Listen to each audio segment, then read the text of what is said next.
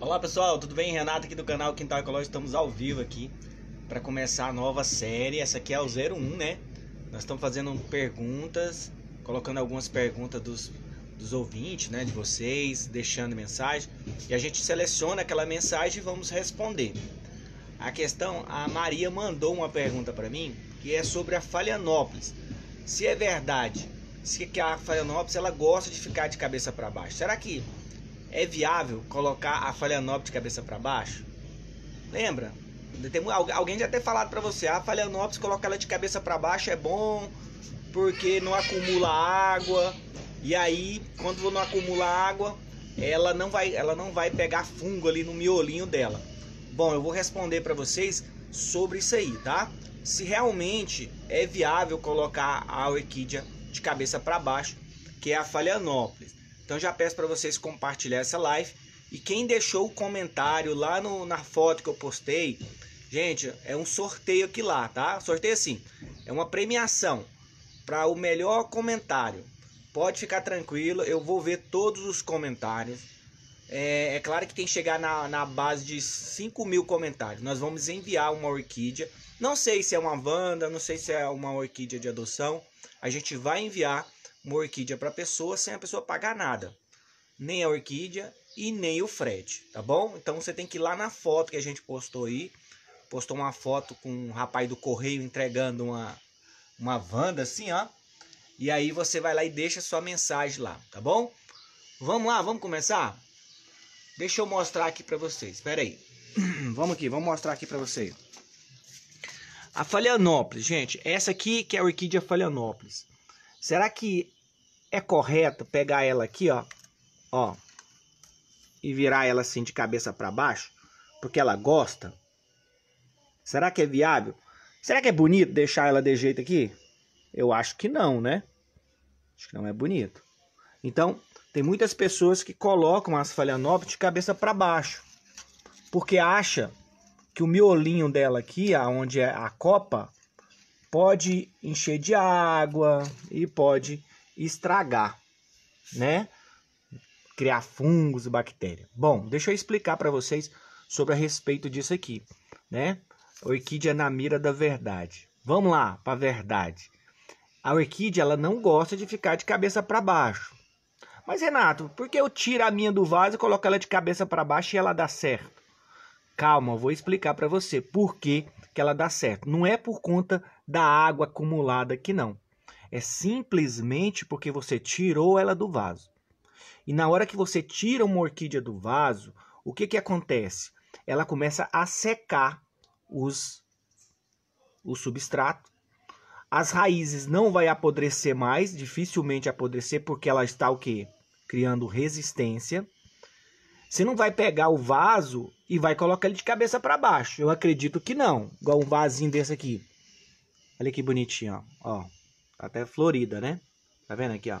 Você vai pegar o vaso e vai colocar de cabeça para baixo. Cuidado para não cair aqui, peraí. Você vai pegar o vaso e colocar de cabeça para baixo assim, né? Vai ficar feio.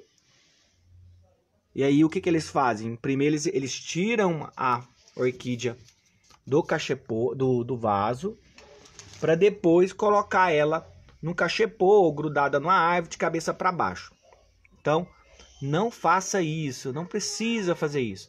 Ela gosta de ficar lá daquele jeito porque ela está sem o vaso. E na hora que ela tira o vaso dela, ela começa o quê? Respirar.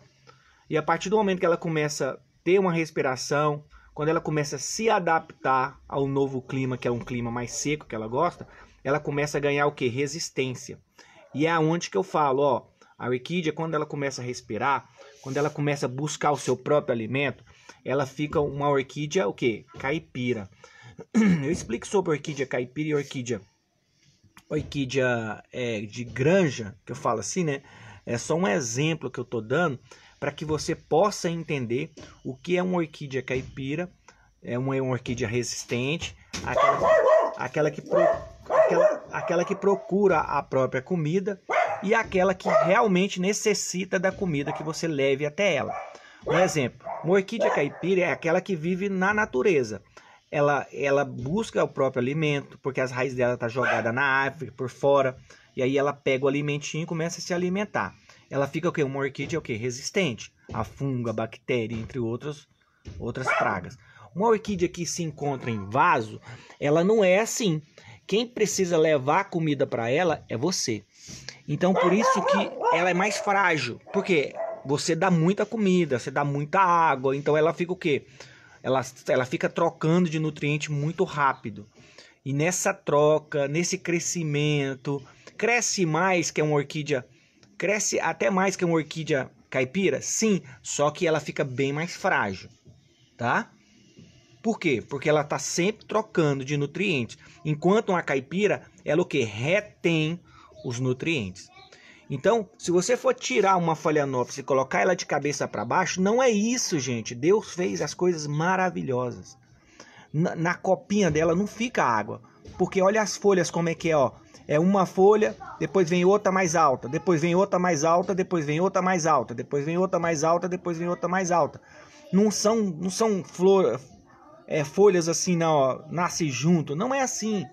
Olha na Wanda, aqui na Wanda a gente pode perceber melhor. Aqui, ó uma folha alta, outra folha mais alta, outra folha mais alta, outra folha mais alta. Porque a água vai cair aqui, ela vai começar a escoar uma nas outras e vai descendo. Ah, Renato, mas a minha fica um pouquinho de água aqui e acontece de apodrecer. Não, é porque a sua orquídea está, se encontra em vaso. Se sua orquídea se encontra num cachepô, aonde ela possa respirar, pode ter certeza, dificilmente ela vai apodrecer a parte nova dela, tá? Aí, aí por que que apodrece só a parte nova? E aí é outra coisa. Aí depois nós vamos fazer outra pergunta.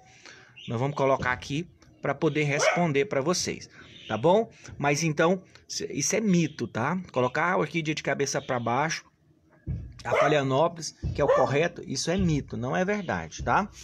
Ela, ela, tá, ela fica de cabeça para baixo é porque você tem que tirar o vaso dela. E a partir do momento que você tira o vaso, o substrato não vai ficar muito úmido e aí não vai apodrecer suas raízes. E aí o fungo não vai atacar a sua planta. Tá bom? Do jeito que tá aqui, gente, é a coisa melhor. Choveu, vai ficar molhadinho, mas depois vai secar rápido. Por conta do que? Da respiração, tá? Dela aqui no cachepô. Então é mito. Tá? Depois nós vamos estar tá respondendo para vocês sobre a questão por que, que apodrece só a parte nova da orquídea. Eu vou te ensinar e você vai começar a entender um pouquinho sobre isso. Essa aqui tá até trazendo floração, né? A floração dela aí, ó. Ó, tá com outra aqui, ó. Outra aqui. Essas aqui eu tô até com medo de deixar a floração nascer. É, por quê? Porque eu, eu, eu pode sofrer demais a orquídea, né? Pode sofrer demais a orquídea. Mas Lembra do que eu tô falando para vocês. Isso é mito. Colocar Phalaenopsis de cabeça para baixo, isso é mito. Não pode, tá? Ainda mas as minhas gostam, igual eu falei. As suas orquídeas pode gostar sim de ficar de cabeça para baixo. A Phalaenopsis. Por quê? Porque você precisa tirar ela do vaso. E a partir do momento que você tira ela do vaso, você coloca a sua orquídea no processo de quê? De virar ela a orquídea caipira. Depois nós vamos estar tá explicando num vídeo também, falando sobre o que é orquídea caipira, o que é orquídea de granja, tá? Tava explicando para vocês aqui, mas é bem fácil você entender. Eu tenho certeza que você sempre vai querer colocar sua orquídea como orquídea de granja, de, de caipira. Porque a orquídea caipira, o, a, o bom dela é o seguinte, que ela, ela busca o próprio alimento, ela retém mais líquido do que uma orquídea de granja, tá? Renato, dá um exemplo aí, dá um exemplo, dá um exemplo, nós, nós seres humanos. Quando a gente está comendo demais, a gente o quê? Faz cocô demais, né? Vocês tem que rir mesmo, né? Então, se você come demais, você está o quê? Liberando demais. Entendeu? A mesma coisa é uma orquídea o quê? No vaso. Quando ela tá, quando ela tá comendo demais, ou recebendo água demais, ela tá o quê? Liberando demais. Se você bebe muita água, você não faz muito xixi? A mesma coisa ela. Quando ela toma muita água, você coloca muita água nela, ela, ela começa a soltar as águas por aqui, ó, pela respiração dela, por trás da folha. Por trás das folhas tem um estômago, que chama estômago. O que, que é isso? É a respiração da planta. Se você olhar por cima, é bem lisinho, não é? Dá até uma claridade a mais. Agora, quando você olha aqui atrás, ó, é fosco Tá vendo que é fosco? Pode olhar que é fosco, gente. Quando você olha aqui, ó, é lisinho.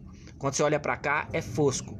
É porque ela, ela tem um estômago aqui, aonde ela respira, tá? Onde ela respira.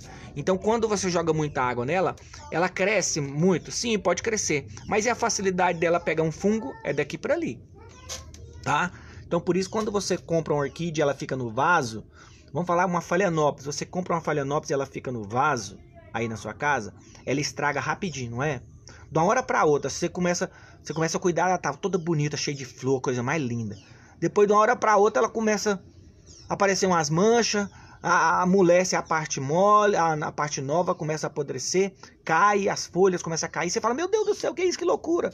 Mas não, gente, é o seguinte: é simplesmente, não é por conta da água que você jogou aqui no, no miolinho dela, não. É por conta da água que está no vaso aonde lá nas raízes, nas folhas não tem nada a ver. Se as folhas, se Deus tivesse feito as folhas da Phalaenopsis ao contrário, aí sim eu falaria para você que poderia. É, é, é, tá, o fungo podia estar tá atacando por conta da água, mas o estômago tá aqui atrás, ó. Deus fez as coisas perfeitas. Deus não faz coisas erradas, faz tudo perfeito, ó. Então, aqui na frente não tem estômago, mas aqui atrás já tem. Então, se você colocar uma folha dessa dentro de uma água, com a parte dessa aqui para cá, onde ela respira, ela vai amolecer rapidão e apodrecer. Tá bom? Então Deus faz as coisas perfeitas. Não precisa ficar de cabeça para baixo. Tá? Não precisa ficar de cabeça para baixo. Precisa que você tire sua phalaenopsis do vaso quando chegar, depois que ela cair a floração. E outra coisa, eu, dou, eu, eu sempre indico uma coisa, a coisa mais top que eu indico, que é fácil, você não precisa ter medo. Phalaenopsis, quando chega na sua casa, ela tá planta, ela tá com floração, só borrifa água, só borrifa, não joga água nela, não encharca, só borrifa. Após você, ela cair a floração, vai ficar um mês, não sei, dois meses, só borrifar, só borrifar uma vez por dia. Deixa dentro da sua casa, borrifa água ali, deixa ela sofrer até ela cair a floração. Depois que ela cair a floração, você tira ela do vaso coloca ela num cachepô. Gente, é daqui para ali, é infalível ela vai se adaptar rapidinho. Tira do vaso, passa para o cachepô, pronto. Ela já está adaptada. Desde a hora que ela chegou na sua casa, ela já está se adaptando ao clima seco. E depois que ela caiu a flor, ela não vai sentir tanto, porque ela já está retendo bastante água. Se você jogar água, o que, que vai acontecer? Ela vai morrer. A raiz, por conta de quê? Porque ela está sugando muito água para floração. Então, você tem que evitar. Então, Colocar o equídea de cabeça para baixo, Phalaenopsis, isso é mito, tá?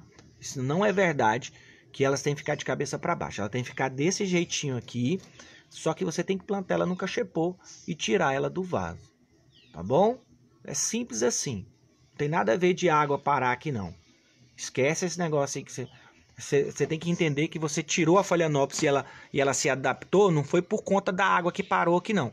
É por conta das raízes que começou a respirar. É bem fácil isso. Quando ela começa a respirar, você vê que ela começa a ficar o que? Resistente, tá? Ela começa a ganhar uma resistência a partir do momento da respiração dela, tá? Quando uma orquídea, você pode olhar uma orquídea que vive em vaso, é, muitas das vezes aquela que você fica jogando muita água e ela tá crescendo muita raiz, você pode olhar que a folha dela é suculenta, mas é mole. Por quê? Porque ela está o quê? Recebendo demais e liberando demais. A partir do momento que ela começa a ficar sequinha dentro de um cachepô, ela começa a parar de, de receber muita água, ela começa a reter mais água e ela, ela começa a se adaptar àquele clima. E a partir do momento que ela começa a se adaptar, você começa a identificar que a folha fica mais dura, mais resistente, tá? Uma, uma, uma, uma orquídea mais rústica, tá? Então é a mesma coisa você encontrar lá na natureza. Depois nós vamos abrir um vídeo hoje falando sobre o que é orquídea caipira e o que é orquídea de granja. Aí eu vou te explicar direitinho para que você possa entender. A partir do momento que você começa a entender também sobre orquídea caipira, orquídea de granja, você começa a, ó, a seguir um caminho aí na sua casa, no seu orquidário, que você já começa a, a ver resultados melhores, tá? Em questão de resistência, tá? Em questão até de, de se você viajar, suas orquídeas aguentam mais tempo, viu? Você vai ver que orquídea de granja, e orquídea caipira, após eu colocar esse vídeo, você vai começar a identificar um pouquinho mais isso aí. E você vai poder viajar, ficar mais tranquilo, sem precisar de colocar pessoas para regar a sua orquídea. Mas eu vou explicar para vocês bem direitinho. Vou abrir hoje o vídeo. Nós vamos falar sobre orquídea de granja e orquídea caipira. Na, na próxima série aí, né, no próximo capítulo, né, da nossa série Orquídea na mira da verdade. Tá bom? Qual será? Qual será melhor? Orquídea de granja ou orquídea caipira? Tá bom? Bom dia! Deixa eu, deixa eu ver aqui. Tem pessoas mandando aqui. Bom dia, adorei o vídeo. Que bom, que bom, fico feliz. Você tem esse cachepô para vender? Sim, Mari. Pode entrar em contato comigo, tem sim. O cachepô pode ser de bambu. Gente, o bambu ele estraga muito rápido, tá? Por que, que eu escolho a, é, fazer de, de cabo de vassoura? Porque o cabo de vassoura ele, ele é bem resistente à chuva, tá? À água. Porque o cabo de vassoura é bem do miolinho da madeira mesmo. Então por isso que é bom. Eu acredito. Assim, eu acredito que é bom, né? Porque ele é resistente. Então, cabo de vassoura é, é, é, eu gosto de fazer com ele, tá bom? Bom dia, como faz o adubo bo, bocarte? Não, o bocarte você compra, tá? Agora, se você fazer o esgotinho, a gente explica aqui para você, tá bom? Uh, Cami, Car, Carmita Fernandes está falando aqui. Olá, gosto muito de orquídea, sou maluca por elas, está falando aqui. A Lúcia mandou bom dia. A Si, bom dia, turma. Que tá, a Si tá mandando bom dia. A Lupécia, muito obrigado. Falando, Lenilda. Oi, Renato, gostaria de ganhar uma orquídea, vou ficar muito feliz. Ah, muito obrigado. Bom dia, pessoal. A Margarida. Gente, quem quer virar, quem quer virar super fã aí, é só clicar aí para virar fã. Quem quer ser apoiador, tá? Seja apoiador aí da nossa página aí, da página do Adoção de Orquídea. Você vai ajudar muitas pessoas, tá? Você que quer doar as estrelinhas também. A gente é, abriu essa exceção das estrelinhas. Antigamente não tinha, mas aí o Facebook criou, mandou a pergunta para mim. Eu respondi que sim, que queria colocar as estrelinhas. E hoje tem pessoas ajudando. Então, você que quer ajudar com as estrelas, manda para nós, que aí nós vamos ajudar bastante pessoas. Domingo, sem ser amanhã próximo domingo, sem ser o de amanhã, nós temos a adoção de orquídeas. Nós vamos sortear 10 orquídeas de adoção, viu? 10 orquídeas de adoção. E aí, se você quer participar, ajuda nós, compartilha, nos ajuda aí é, para a próxima adoção, sem ser a de 10 agora, para a próxima, a gente fazer, é, conseguir doar mais, né? Doar pelo menos umas, umas 40 orquídeas de adoção. Aí peço para vocês ajudar aí, né? Para a gente poder conseguir vocês é os anjos, né? Nós podemos, nós podemos até colocar um nome aqui, anjos da anjos da, da alegria, não sei. Né? nós podemos colocar um nome aqui para vocês. Eu vou ver um nome onde a gente pode colocar para essas pessoas que ajudam, né? Viu? Deus abençoa cada um de vocês. Hoje nós vamos, é, deixa eu ver aqui. Ah, só, deixa eu ver aqui. Eu quero ser apoiador. É só clicar aí, ó, bem aqui, ó Bem aqui embaixo, aqui, ó, bem aqui embaixo, tem um símbolo de apoiador. Vocês sabem que quem, quem, quem virar apoiador sabe que vai ter acesso ao nosso curso, né, gente? O curso está sendo lá no YouTube, no canal Quintal Ecológico. Aqui no Face é só para apoiador. Então, mas você, ah, Renato, mas aí como é que eu vou ver o curso? Eu quero ver o curso grátis. Então, vai lá para o YouTube. O curso também está sendo lá no YouTube. Mas o curso novo que a gente vai fazer é só para apoiador aqui, tá? vai estar tá aqui no Face. Mas você pode ver o curso lá no YouTube, canal Quintal Ecológico. Já temos 20 aulas, 22 aulas lá. Vamos continuar, ainda vai até para 80 aulas, tá? Mas aí o Face vai vir aqui pro Face e aí você vai poder assistir aqui no Face aqui sendo apoiador. É simples aí, gente, para virar apoiador. Eu quero ainda eu ainda estou concorrendo. Tá? Lindo trabalho. Obrigado, Vânia. Gostaria. Ah, deixa eu ver, não consigo fazer elas florescerem. Depois eu vou explicar para você sobre a questão da floração, viu, gente? Então tá, pessoal, hoje ainda abro o vídeo ainda falando sobre é... o que, foi que nós tava falando, meu Deus do céu? A orquídea caipira e a orquídea de granja. Então hoje ainda vou abrir a live.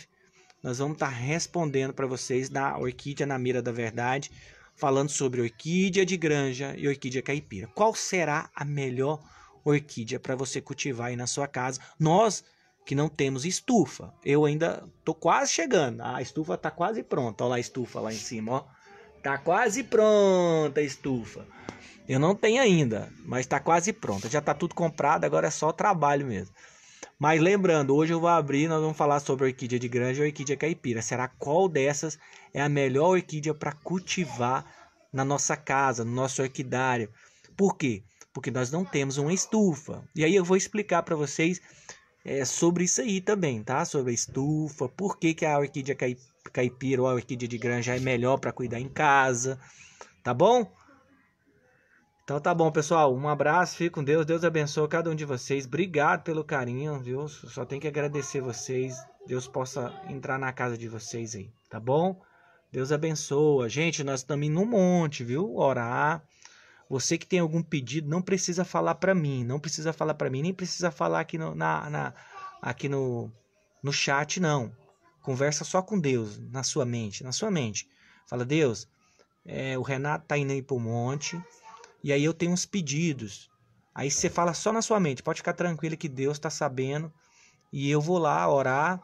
É claro que eu não vou, eu não vou, eu não vou falar seu nome porque eu não, eu não sei, porque mas Deus sabe que eu estou indo lá por causa de você.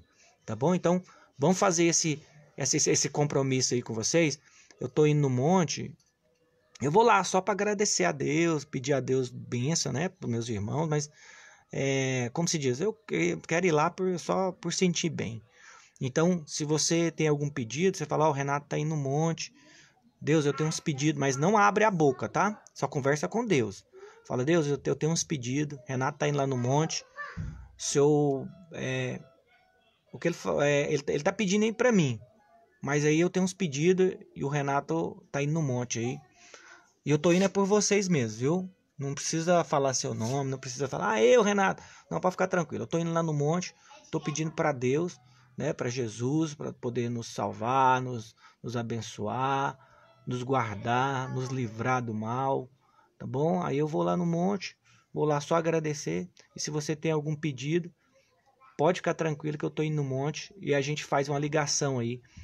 E a gente pode é, ajudar, né? Ajudar pelo menos um pouco aí de ir no monte, orar, agradecer a Deus. Muitas vezes você não pode, tá em casa, tá acamada ou é, não pode sair por conta dessa, dessa pandemia, ou muitas vezes é, não tem tempo, mas você fala, ah, o Renato tá indo no monte. E eu tô indo para qualquer um. Qualquer um que falar, ah, só lembrar, só lembrar Deus, Deus, Renato tá indo lá no monte. Então eu tenho uns pedidos aqui. Pede para Deus e saiba pedir, viu, gente? Não é você como pai, seus filhos pede um tanto de coisa. Você, você dá tudo? Não. Então vamos saber pedir, né? A hora que a gente começar a aprender um pouquinho saber pedir, Deus vai começar a ouvir o, nossos, o nosso clamor, não é verdade? Então vamos saber um pouquinho pedir. Pode, pode ficar tranquilo que eu estou indo no monte lá.